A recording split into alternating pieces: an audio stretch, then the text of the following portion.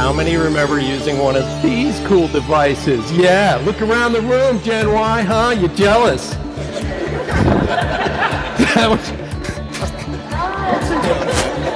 You're like, what the hell is that? I hear what you're saying that it, you know, creates higher self-esteem and powers of success. However, how are you in real life situations when a real person and, and does that really translate? Hold on, I'm texting. That's what it does. How many of you notice a lot of young people are texting when they're in the home? So they're more comfortable with a screen mm-hmm. than they are with interacting. And here's what we found. At the top of every organization, the executives who had grandkids understood the internet revolution. Young people at the bottom, coming in right out of college, understood what a T1 and a T4 was, what digital archiving meant, and the difference between the internet and the World Wide Web. They knew it intuitively, but in the center of every organization, there was a revolution going on, and no one knew it. Are you in the middle of a revolution and don't know it?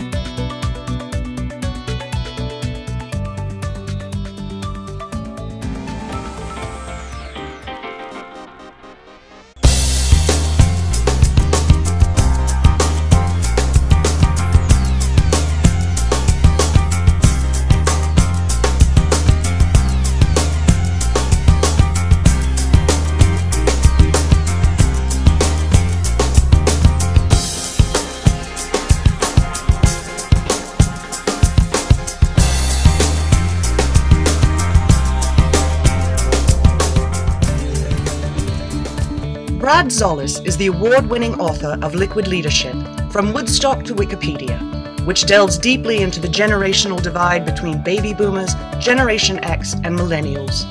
The reason we take so long to get a product done is because we do it right the first time. Published worldwide in multiple languages, Liquid Leadership has been called the guidebook for the 21st century. Remember, this generation was raised on thousands of upgrades of software by the time they're in their 20s. So change is the constant in their universe. They're used to change. We look for stability, they look for excitement. It's very different world. As a former C level executive of a publicly traded company, Brad has the credentials to tackle any business situation and is currently working with some of the top international brands and industry associations, showing each his award winning management strategies to motivate your 21st century workforce culture. These companies are doing things that are great. It's very similar to what you're doing here at MasterCard. They flatten the hierarchy. They're starting to listen to customers and employees and change the tone of the way we do things. It is called a results-only management model. Hearing Brad speak blew my mind. Best presentation I've heard in ages is the frequent feedback from C level executives, meeting planners, and audience members after attending Brad's interactive keynote sessions. As the foremost expert on cross generational issues and workforce culture, the world's leading business publications seek out Brad's insights on millennials and today's digital age worker and customer. But Brad doesn't just cover business. He has appeared on several prestigious media outlets informing parents, educators, government leaders, and associations of the major influences affecting all of us in the information age. Wherever Brad shows up, he brings an experience to your meeting like no other, complete with plenty of humor, case studies, statistics, and audience interaction that will have your attendees talking about your event for years to come.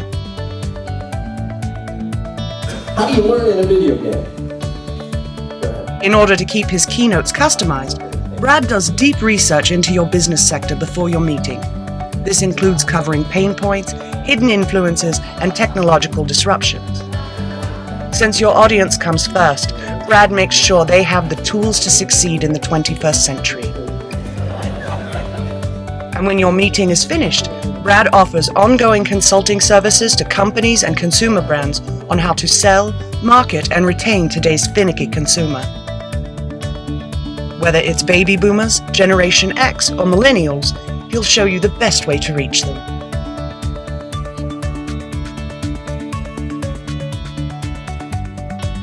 coming up with the next big idea. Boom. Netflix. Reed Hastings started Netflix. Do you know why he started Netflix? He was angry. because back in the day, they used to charge you late fees. Do you remember that? He was charged, I think it was $60 because he didn't return the right stuff on time. He was so angry, he started a multi billion dollar corporation. Every Friday, Reed Hastings, the founder of Netflix, entertains proposals from employees. He's looking for one idea, one button, one thing that they can put on that website that's a million dollar idea. And he rewards his employees.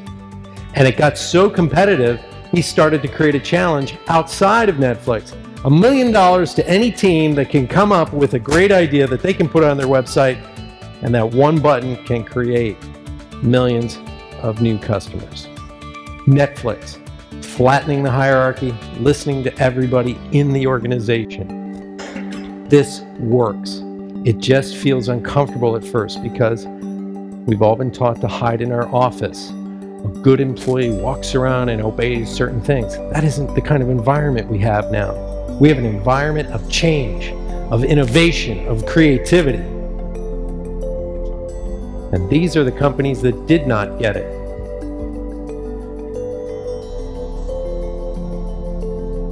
As a former C level executive, Brad offers your executive team a closed door session that will give them an elusive competitive advantage. They're going to because you're leading the charge. Brad's observations and his books are invaluable to understanding millennials and the beginning of understanding a multi generational workforce.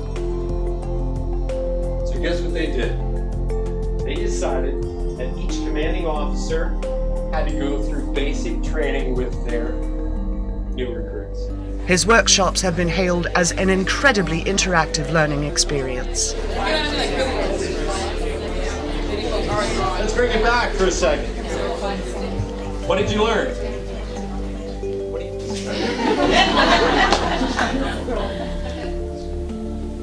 Technology changes our behavior. Now you have to share knowledge. Sharing knowledge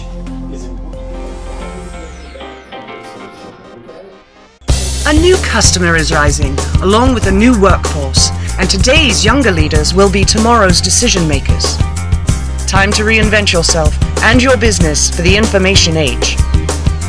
If you are interested in booking Brad Szollose as a keynote speaker for your next event, or to schedule a generational workshop summit, or even our ongoing consulting packages, send an email to info at liquidleadership.com or go to www.liquidleadership.com. Thank you. We look forward to hearing from you.